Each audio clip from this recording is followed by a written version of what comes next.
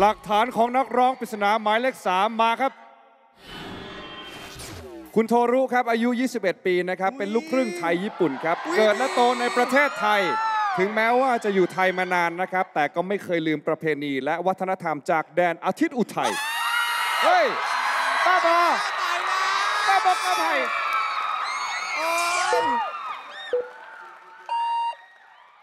เออ ไม่เข้าใจเวลาทำไมออนเซนให้ผ้าผืนนิดเดียวอะ เออ แหมไม่ใช่ไม่ใช่ เดี๋ยวเล่าให้ฟังเดี๋ยวเล่าให้ฟัง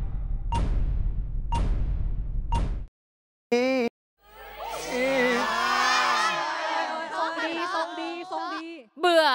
เห็นโทรรู้แล้วเบื่อ ทำไมอะเบื่อแล้วนอนกอดหมอนข้าง อยากนอนกอดโทรรู้บ้างได้ไหมจ๊ะ เราชื่อโทรรู้เหรอว่างๆโทรหาเราได้ป่ะ โทรรู้ไม่ต้องไปฟังพวกบ้า โทรมาก็พอโทรรู้โทรมาแล้วใช่ไหมคะ เออ โทรมาใหม่อีกทีนะคะเมื่อกี้รับไม่ทัน ไม่ว่าจะยังไงก็ตาม เราจะต้องดันทุรัง พาเข้าไปในถึงจุดสุดยอด เพราะฉะนั้นเอาไว้ก่อนพี่มั่นใจว่าเขาร้องเพราะ ถูกเบอร์ต้องสามเอาไว้ค่ะ ใช่ พี่แก้วไม่รู้ พี่ปันไม่รู้ แต่พี่โทรรู้นะคะจ๋ จ๋าพี่แก้วไม่รู้ พี่ปันไม่รู้ ทุกคนก็งงๆเหมือนกัน เราจะเรียกว่าโทรุโทรุใช่ใช่ใช่เขาก่อนเดือนมิถุนาใช่ไหมดาวเสาร์ดาวสาวเข้าหนูปะคะไม่รู้ตอนนี้เข้าพี่กับพี่เป๊กกี้อยู่ เออยืนข้างไงยืนข้างเออมันมีส่วนมีส่วน คิดว่าค่ะ ก็คิดว่าเพราะค่ะ หมายเลขสามเพราะครับ หลักฐานของนักร้องปริศนาหมายเลขสี่มาครับ คุณเมย์ครับอายุ 28 ปีครับ สาวผิวสาวนะครับ ผิวขาวตาคลมผมยาวครับ ตอนกลางวันเป็นเจ้าหน้าที่ฝ่ายบุคคลครับ กลางคืนแปลงร่างเป็นมือเบส ประจำวงดนตรีที่เล่นอยู่ตามร้านอาหารชื่อดังครับ ในหาดบางแสน เท่มากเลยฮะ ต้องดูว่าเล่นเบสเป็นจริงหรือเปล่า ดึกๆอย่าออกไปไหนนะฮะ นึกว่าจูออน ขาวมาก ใช่ เออข้างหลังก็ไม่เล่นกันเลยนั่งเมาส์กัน ฟังเสียงดูครับ โปรไฟล์เป็นไงผมไม่รู้แต่ผมว่าเขาเล่นเบสจริงเออดูจากมือซ้ายมือขวาน่าจะเล่นเก่งด้วย อืม ผมอยากจะบอกเขาว่า ถ้าแฟนไม่รักอะให้ทักมาหาพี่ แต่ถ้าแฟนไม่มีอะให้เรียกว่าพี่ว่าที่เออที่รักก็ได้จ้ะสังเกตว่าการเล่นมุกแบบนี้ตะกุกตะกักนิดหน่อยใช่เมียอยู่เมียมาเมียมาเมียอยู่ไหน เอาว่าเพราะหรือเพี้ยน เพราะครับ ค่ะก็คิดว่าลองเพราะแน่นอนค่ะ คิดว่าเพราะนะครับ อ่าหมายเลขสี่เพราะครับต่อเลยครับ หลักฐานของนักร้องปริศนาหมายเลขห้ามาครับ คุณออมครับอายุ 17 ปีครับ เด็กสาวที่มีความสามารถรอบตัว ร้องเพลงครับ เล่นกีฬาและต่อยมวย ที่สำคัญครับเป็นลูกสาวของนักดนตรี ถูกปลูกฝังมานะครับ จากคุณพ่อว่าทำอะไรต้องทำให้ดีที่สุด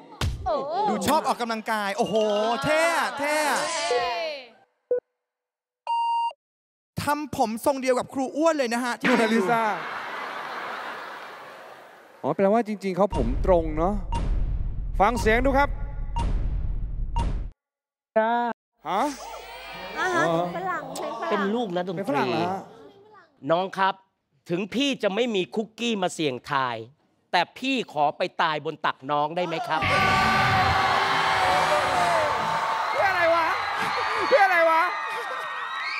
ผมเชื่อนะครับว่าครับ น้องคนนี้ไม่ได้ร้องเพลงเป็นอย่างเดียว ครับเออเขาเป็นถึงนักร้องแชมป์โอเปร่า โอ้โห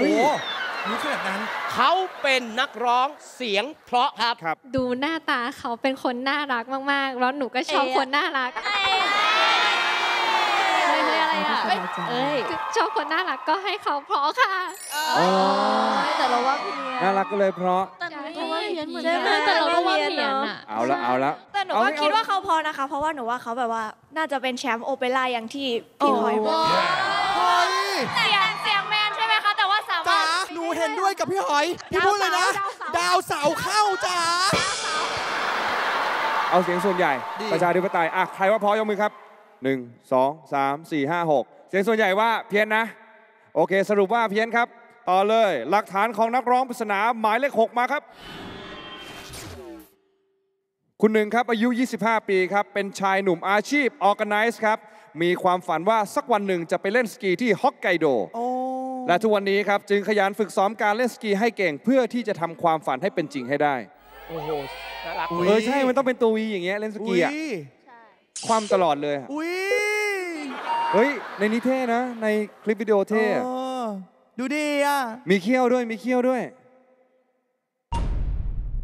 ลองฟังเสียงดูครับ วัน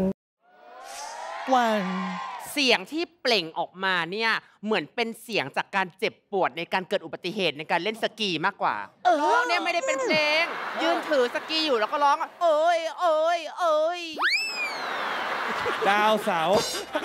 ดาวเสาร์อ๋อดาวเพี้ยนแน่นอนค่ะ เมื่อกี้รู้สึกเหมือนเขาเวลาเขาร้องเพลงเขาจะ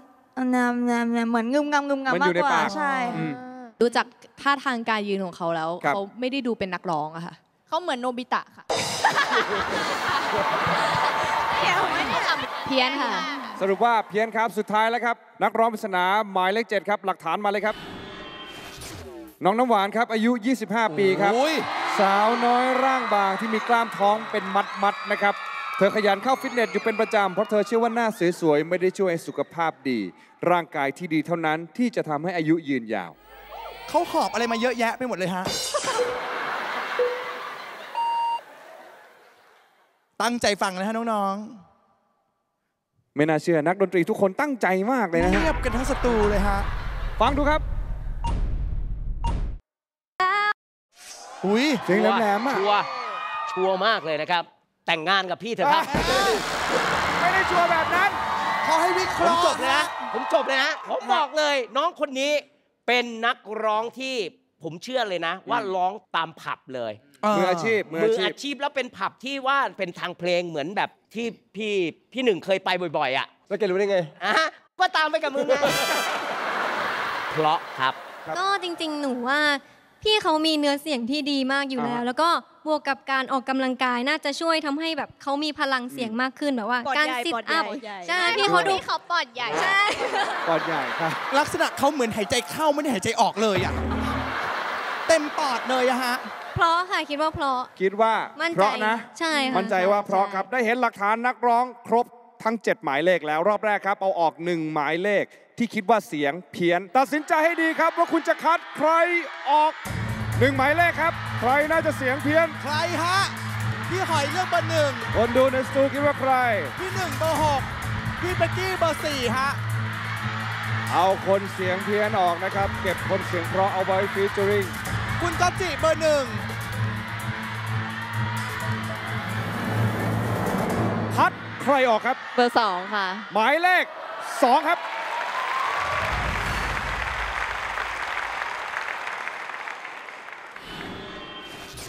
นักร้องปริศนาหมายเลขสองผมขอฟังเสียงคุณ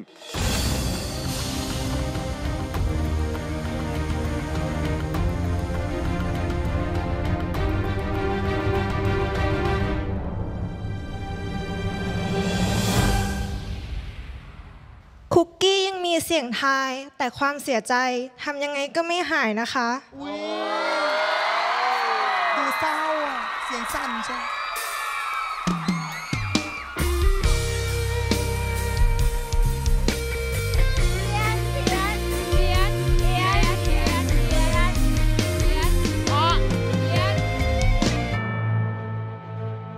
ผมบอกเลยน้องๆ ดูพี่เออคนนี้ร้องเพราะ วิธีการที่เขาจะร้องออกมาเนี่ยเราจะสังเกตได้ว่าปากจะแคบ ครับ ลิ้นจะแบน เพราะฉะนั้นหมายเลขสองเพี้ยนได้มากค่ะ พี่เขาขยับปากน้อย อืม มีมูฟเมนต์ที่น้อยที่แคบค่ะ คิดว่าน่าจะร้องเพี้ยนค่ะ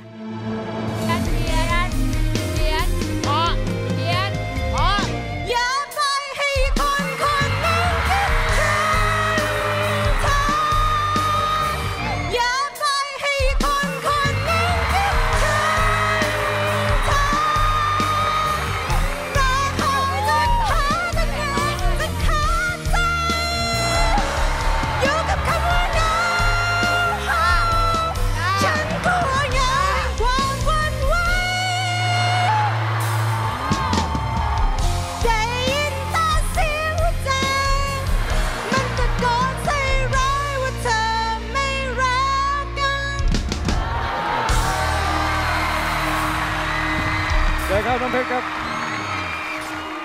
ค่ะ ชื่อเพชรนะคะ นางสาววันวิสาผลพันธิน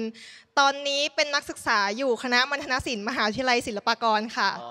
ยังเป็นนักศึกษาอยู่ ใช่ค่ะ แล้วก็ตามโปรไฟล์บอกเป็นนักแต่งคอสเพล Cosplay ย์ คือจริงเหรอ จริงค่ะ ก็คอสเพลย์มาประมาณ5ปีได้แล้วทำไมถึงค่ะชอบเอ่อแต่งเป็นคอสเพลย์อะครับ รู้สึกสนุกกับการได้สวมบทบาทเป็นตัวละครต่างๆ ที่เราชอบอ่าฮะสนุกกับการได้ ประดิษฐ์ได้ทำสิ่งของต่างๆ เพื่อทำให้เราเหมือนกับตัวละครมากที่สุดค่ะ อุ้ยเขามีหลายลุกนะอ้าวมีตัวละครไหนที่ชอบที่สุดไหมที่เคยแต่งอุ้ยอันนี้เท่เลยเอ้ยนี่เท่เลยอะไรมันมันคือเรื่องอะไรนะไอชื่อเรื่องเป็นอะชื่อไรโดเรมคะอนจากรีเซโลค่ะอันนี้เป็นผู้ชายกูดูอยู่เรื่องไม่พี่การก่อนจะถามเรื่องการ์ตูนดูหน้าแถบนี้ด้วยว่าห่างหายจากการ์ตูนไปนานมากมายขนาดไหนแล้วเรื่องสุดท้ายน่าจะชินจังประมาณเนี้ย อ่าสรุปครับนักร้องปริศนาหมายเลขสองเป็นนักร้องเสียงเพี้ยน ถึงจะแต่งตัวคอสเพลย์แต่ก็ไม่ได้รอดสายตา น้องๆ BNK48 ได้นะครับสำหรับหมายเลข 2 คุณเพชร นักร้องเสียงเพี้ยน สืบกันต่อกับเบาะแสเสียงพูดช่วงหน้า พี่นุ้ยครับ ฮะถ้าผมอยากมีพี่นุ้ยอยู่ข้างกาย ต้องให้คุกกี้เสี่ยงทายใช่ไหมครับ คุณอยากมีนุ้ยอยู่ข้างกาย ก็เรื่องของคุณเลยนะฮะ จังหวะดาวเสาร์ดาวเสาร์ I can see your voice